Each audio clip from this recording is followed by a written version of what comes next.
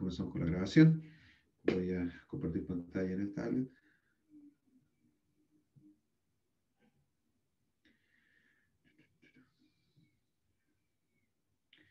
Esto no es, esto otro tema.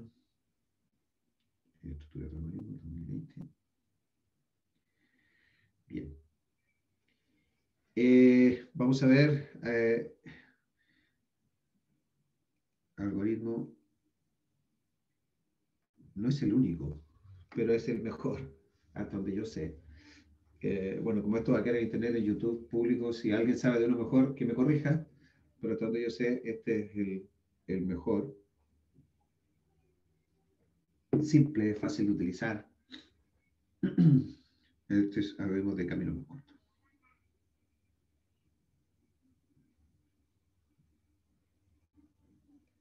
Más, que tiene eh, un acento. Bien. Eh, no sé si lo he señalado, pero es importante la ortografía, chicos. ¿eh? La comunicación, el uso del lenguaje, entre ellos la ortografía, es súper importante. El buen uso del léxico. para poder comunicarnos de forma precisa, forma correcta, Imagínense ustedes cuando tengan reunión con abogados en la empresa, en su trabajo. Si ustedes no hablan bien, los abogados que, son, que debieran ser expertos en el manejo del lenguaje, no solo no, les van a creer, y ustedes van a, perder credibilidad por no manejar el, el lenguaje correctamente, sino que además se van a reír de ustedes. Así que, ojo con eso. Es súper importante, fundamental. Eh, vamos a ver el algoritmo de camino más corto. Eh, ¿En qué consiste este tipo de algoritmos? Eh, estos resuelven el problema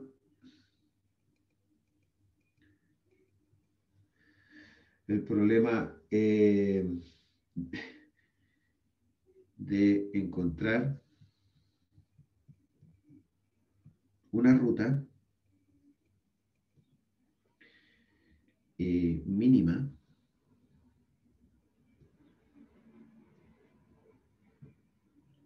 entre un nodo fuente y uno de destino. Se aplican a gráficos. Me parece que mm, vimos de esto en redes de computadores, así como algoritmo Dijkstra. ¿Es lo que se refiere? Sí, así es.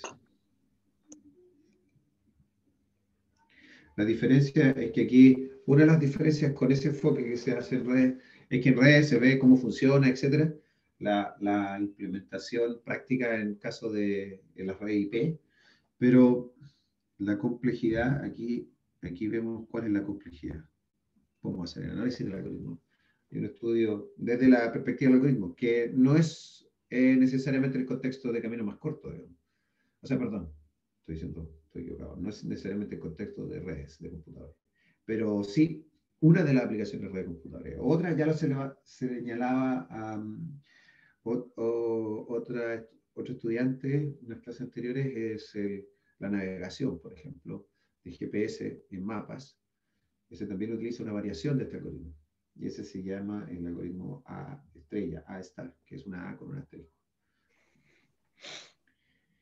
Eh, esto no lo hemos visto. ¿Qué significa grafos con pesos? Eh, y a grafos con pesos, a grafos con pesos y además dirigidos.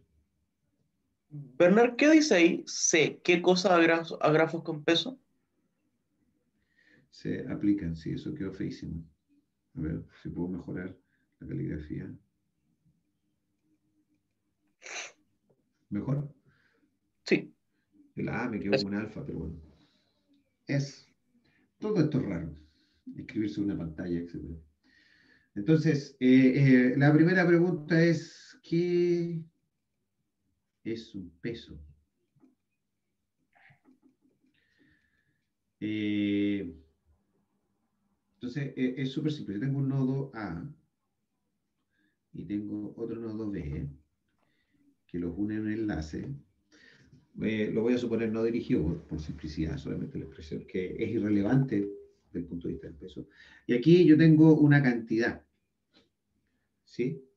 Entonces, eh, esa cantidad está asociada a este enlace entre A y B. Entonces, eh, omega es, para nuestros fines, es los reales positivos eh, más el cero. es decir, una cantidad positiva peso negativo, eh, no vamos a hacer esa suposición, eh, pero supongo que en otros modelos habrá pesos positivos, pero en este no. Eh, entonces, es muy simple, un grafo que ha, por ejemplo,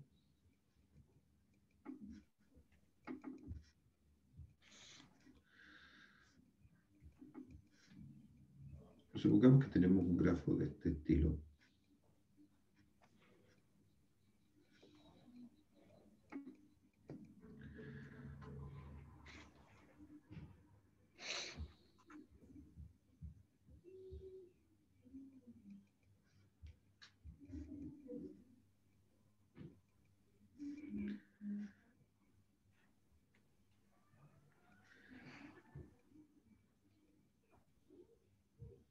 Ejemplo. En azul son los pesos. ¿Y, qué pueden ser los pesos? Por ejemplo, puede ser... Eh, el peso es una medida que se asocia a un costo.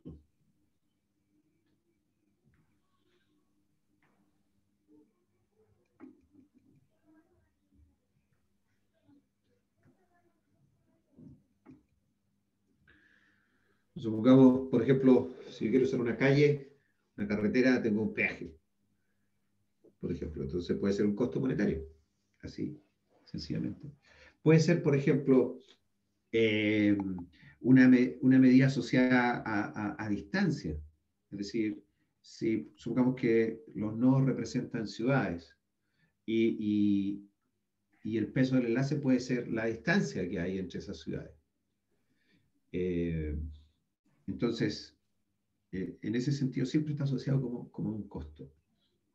Eh, y cuando nosotros decimos que los algoritmos de camino más corto eh, encuentran la ruta entre un nodo y, y otro, una fuente, podemos decir que esta es la fuente, y el destino, supongamos que es este, este de acá.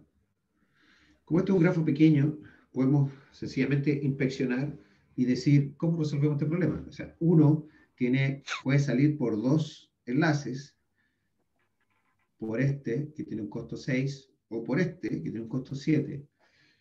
Si andamos buscando eh, el camino mínimo, pues, pues, tomaríamos este inicialmente, el 6. Y luego tenemos uno que es de 1,5 y 1. Entonces uno tomaría, si solamente se decide a un paso, tomaría este 1 y después 2, y nos quedaría un costo de 9, ¿cierto? Total de la ruta. Sin embargo, si uno observa luego eh, este de acá, viniendo de aquí, no es la ruta más corta para llegar a este. Entonces, uno analizando dice, ven, bueno, todo este, porque definitivamente para salir de uno no hay una alternativa mejor, pero aquí sí tengo alternativa. Y tal vez este de acá, no tal vez, de hecho, este es el camino más corto. Entonces, el camino más corto quedaría una cosa así, marcado por, los trazos amarillos. Eh, y claramente, ustedes se imaginan que si aumenta el número de nodos y el número de enlaces, eh, el problema se complica. El problema se complica porque hay muchas alternativas de ruta. Por ejemplo, el total de esta, de esta ruta en amarillo es 7,5. Pero podría existir en un grafo más grande otro camino que supongamos, supongamos que yo voy a modificar este, este grafo. lo voy a poner así, una línea para que se vea hipotéticamente. Supongamos que yo tengo un enlace que une el nodo 4 con el nodo 5 y que ese enlace tiene un costo de, de 1. Si se da ese caso, entonces esta alternativa que está acá, la, que escogimos en amarillo, no es la ruta más corta porque deberíamos tomar este 7. Ah, no, sigue siendo más corta. Sigue siendo más corta. Me equivoqué. Sí, es que tendría que ser menos de 0,5. 0,3, por ejemplo. Si es 0,3, eh, entonces, como bien decía, ¿quién, parece que hablaba? ¿Era Benjamín o no? Sí, fui yo. Gracias, Benjamín. Como bien decía Benjamín, tiene que ser menos que 0,5. Entonces, 0,3. En ese caso, entonces, esta no es la ruta más corta, aunque inicialmente esto parece ser la ruta más corta. Esta, que es mayor en el primer paso, no lo es en el total. es un ejemplo de juguete muy simple, pero por lo tanto, a medida que yo me voy alejando del nodo de, fuente hacia el nodo destino, que, puede estar muy lejos, digamos, eh, en este grafo,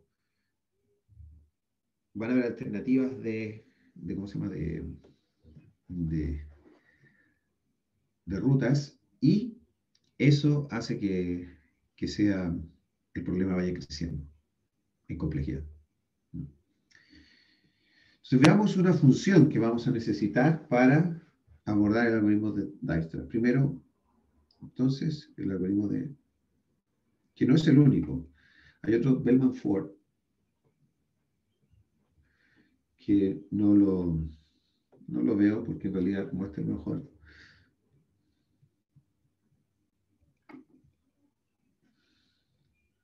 Sin embargo, a veces he preguntado lo mismo que más en pruebas. No, no, digo que se lo sepan, sino que pongo ahí el algoritmo y que lo analicen. Entonces, hay un procedimiento que se llama, yo lo tengo aquí en inglés, relaxation, relajación. En el texto, guía en inglés es relaxation.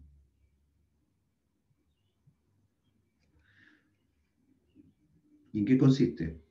Si yo tengo un nodo mu y un nodo v, eh, y tengo dentro de la circunferencia que representa el nodo, tengo registrada la distancia,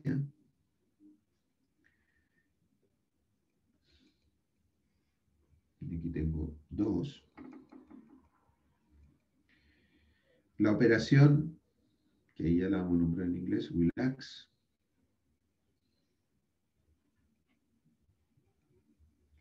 Que toma como argumentos el nodo U, el nodo V y el peso asociado a ambos nodos, significa entonces que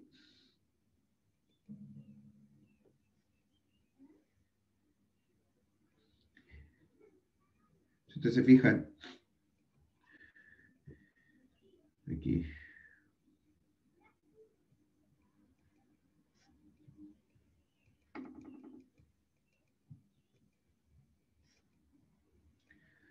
teníamos antes, eh, por alguna razón, en el proceso previo, teníamos que la distancia para llegar desde la fuente al nodo V era 9. Con el proceso de relajación tenemos la posibilidad de llegar a 9, sumando la distancia que hay para llegar a, a más el costo eh, del enlace entre U y V. Entonces, eso se suma, y ese costo es menor. Esa distancia es menor que la registrada. Por lo tanto, el proceso relax lo que hace es, si es menor, reemplaza entonces eh, por el menor. Aquí dos, voy a poner aquí.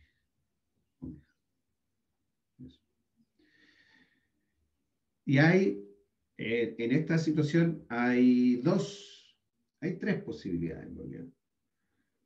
Eh, una es que el costo original en este nodo V es mayor que el viniendo por aquí. En ese caso, pasa exactamente lo que está aquí reflejado. Se toma la nueva ruta y la nueva distancia. Pero puede darse el caso en el que tenemos nuestro nodo U, una distancia 5, enlace. Tenemos V, una distancia en vez de 9, una distancia 6. En este caso, cuando aplico la función relax, U, V, omega, no altera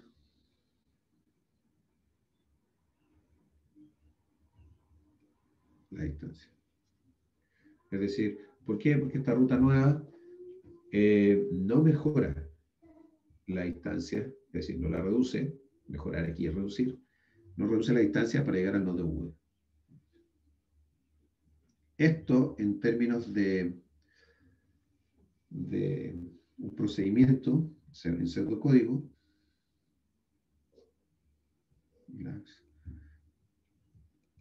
sería de esta forma. Omega. Si la pregunta pregunta primero, si la distancia asociada a B, similarmente eh, como lo teníamos registrado en un, en un, eh, eh,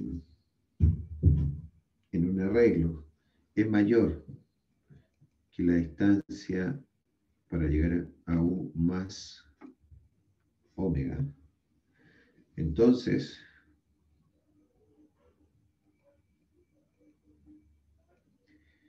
se le asigna la nueva distancia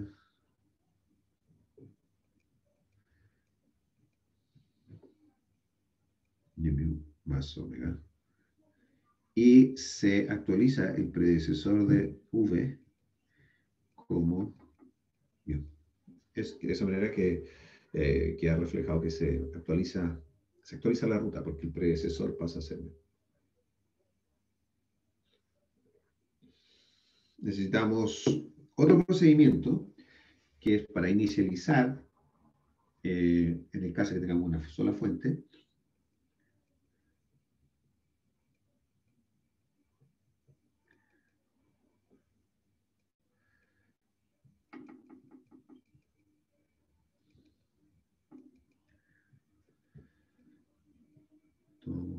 el grafo y la fuente S. Y aplicamos para acá, no. Para cada vértice V que pertenece al conjunto de vértices de G. ¿Y qué hacemos? A la distancia a V son todas infinitas, es decir, porque no han sido todavía descubierto similar a lo que hacíamos con el algoritmo de eh, BFS. Y el predecesor de V es nulo para todos los V. Eh, sin embargo, eh, tenemos que hacer la salvedad para el, nodo for fuente. Por lo tanto, una vez terminado el for, asignamos que la distancia a la fuente es cero porque es nuevo fuente. ¿Sí?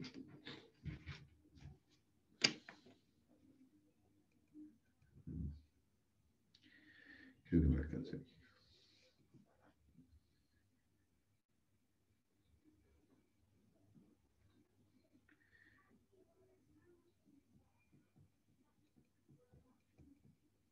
El algoritmo de Dijkstra es como argumento el grafo, eh, la fuente y todos los pesos. Entonces lo primero que hace es initialize single source. Sí, el procedimiento que acabamos de definir. Eh,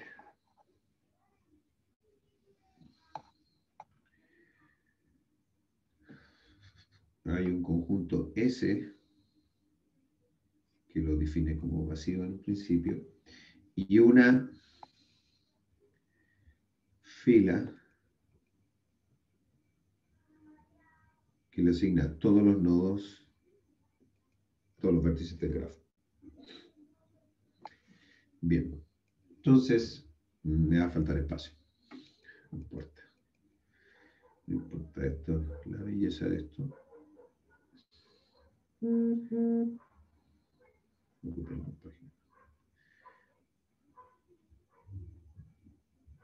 Perfecto. Entonces ahora vamos a recorrer la fila.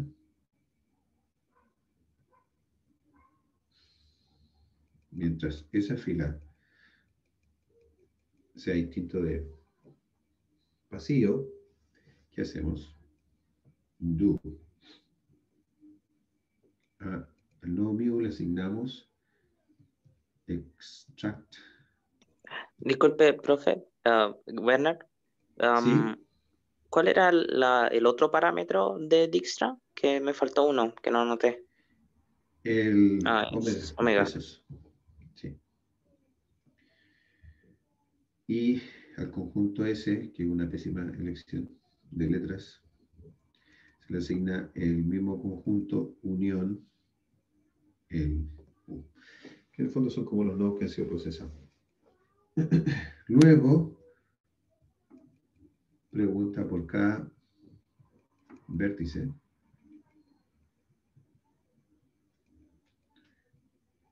que pertenece a los adyacentes de view. Y hace el proceso de relax.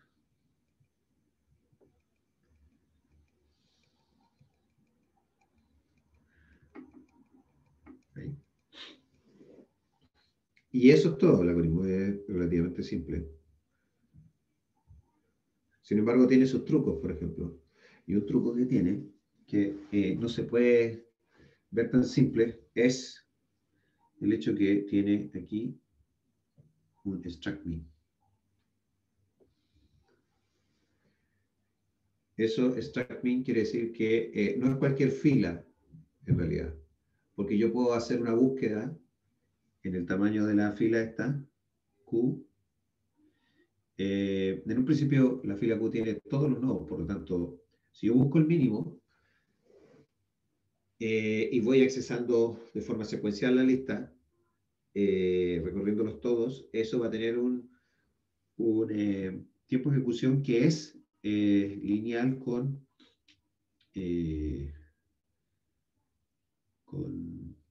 el número de nodos. B, ¿cierto? Pero nosotros sabemos que formas eh, más eficientes de almacenar una lista eh, con prioridad. Veamos cómo opera esto en un, en un grafo. Y me va, a tomar un poquito de tiempo en, dibujarlo. Bien. 1, 2A, 1, 2B, por aquí, eh, un F, un C, un D, un H por aquí, un G. Y un E. Ya. A.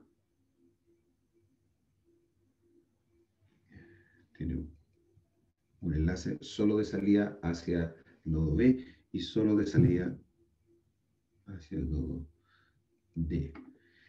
El nodo D recibe de F. Está difícil, ¿no?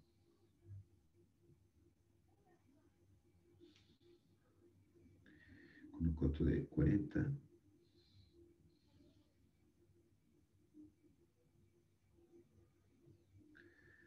cuenta.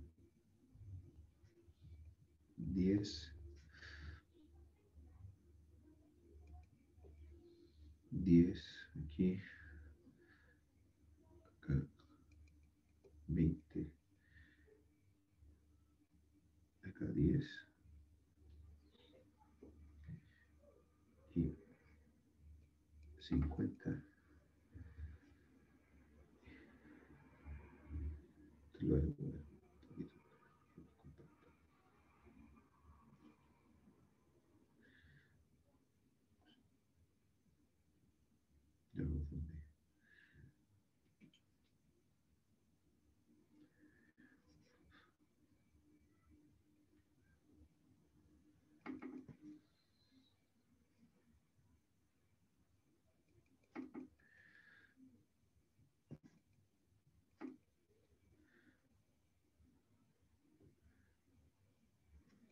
Ahí está.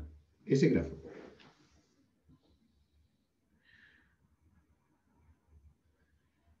Tal vez lo podríamos hacer más pequeño, pero bueno, está bien, se entiende. Es un grafo eh, dirigido y pesado. Y la fuente va a ser eh, los dos.